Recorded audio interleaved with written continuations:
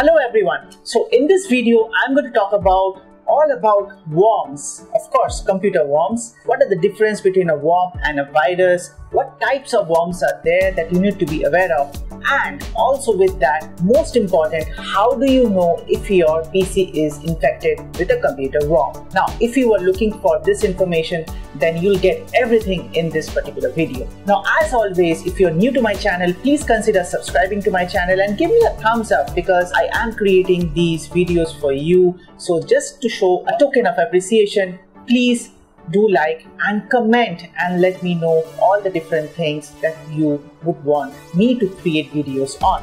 So without much ado, let's jump into it. This is Sonit from Techie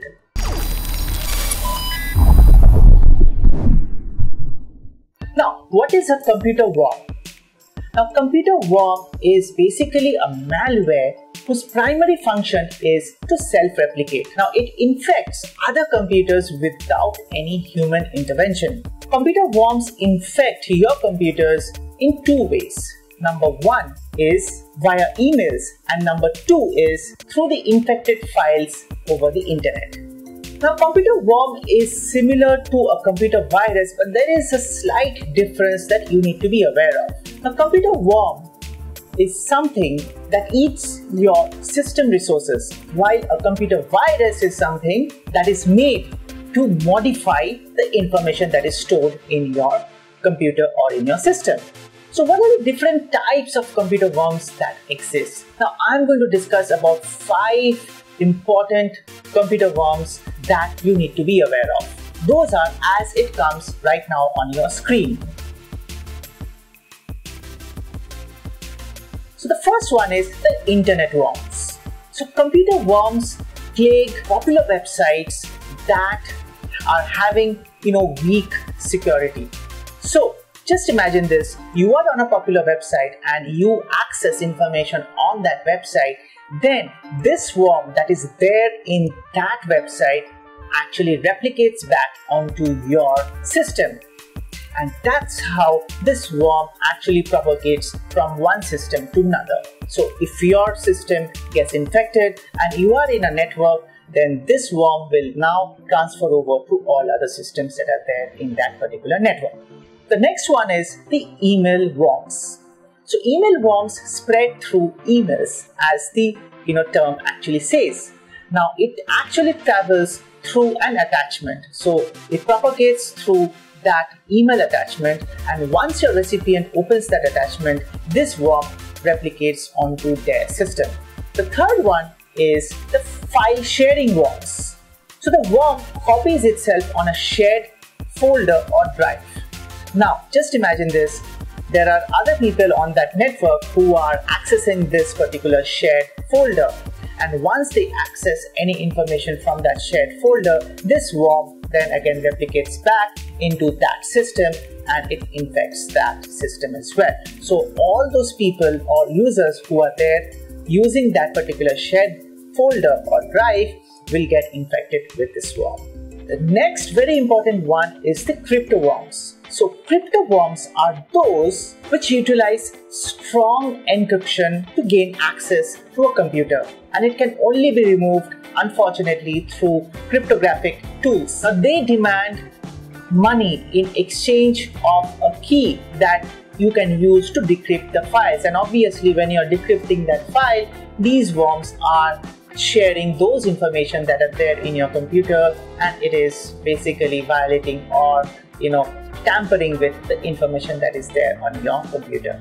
Now instant messaging worms are those that reside on the chat server so if you are chatting with your friend or with another person on, a, on any popular chatting platforms, then this particular worm actually propagates to the other person through the instant messaging message. Now it piggybacks on the message. Like for example, it could be simple things like LOL or maybe you know there's a surprise for you and then you click on that and then this worm actually infects your computer.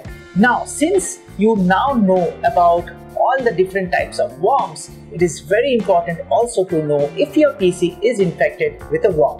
Now there are specific symptoms that you can see on your PC that would indicate whether it's a worm. Of course, there could be, you know, trojans also or viruses also, but those are not part of this particular video because this video will then become very long. But these are the certain kinds of symptoms that you can actually look for. So the first one is unusual pop-up windows. So these are usually fake warnings that come up on your PC and you know it says that you know you are infected with a virus and you need to install an antivirus and then it asks you with a call to actions like okay click ok and uh, you know those kind of informations it actually says. Just remember this your windows if you are using a licensed windows then your windows defender will never actually pop up those kind of messages. So just beware of this unusual pop-ups that actually come up. The next is the inability to connect to the internet. Now, if you're facing problems like you know you are not able to connect to your ISP, then probable reason is that you are infected with a worm. Of course, your internet provider might have their servers down, so please first check that. But after that, if you see all the other users are able to access the internet but yourself, then it means that there is some kind of you know worms that are existing in your computer additional items that are installed on your computer now there could be situations or you know times when you open you know each day you open your computer or when you reboot your computer you find certain things that are getting installed onto your computer. Now those are some things that you have not installed but they are actually coming up. It could be shortcuts to popular ads or it could be your desktop setting. You know it's a it's a shortcut to that or some kind of you know exe files or maybe some game. It will ask you to you know execute. So those kind of things beware of. If you are thinking that those are suspicious things you have not installed then those could be worms and you need to take immediate action to actually get those worms removed. Now, if you're getting unusual messages before or after logging into popular websites like Facebook, Twitter, then probably you are infected with worms again. So what I mean by that is once or before you actually log on to your Facebook, you get a message stating that you need to be redirected to some other, you know, suspicious site or unpopular site which you are not aware of, then it is a probable reason that your PC is infected with a worm. Now look for open ports on your computer. Now if you find that there is a port forwarding system that is actually happening on your PC, it is a probable reason that there is worm on your system. So what it does is through that open port, it actually sends over that information from your system to the other, you know, remote accessed you know, PC that is there. Of course, if you're having unexplained internet problems or network problems, that could be another reason for uh, a worm to be infected onto your computer. And with that, if you are having performance issues with your computer, suddenly you find that your PC is filled up and your C drive is full, it is showing red, then it is a probable reason that it could be worms. Of course, it could be a reason for Trojans as well, but it could be also a probable symptom of a worm. So comment below and let me know which are the symptoms that you think that I have missed in this video that could be a possible symptom of a worm being infected onto your computer.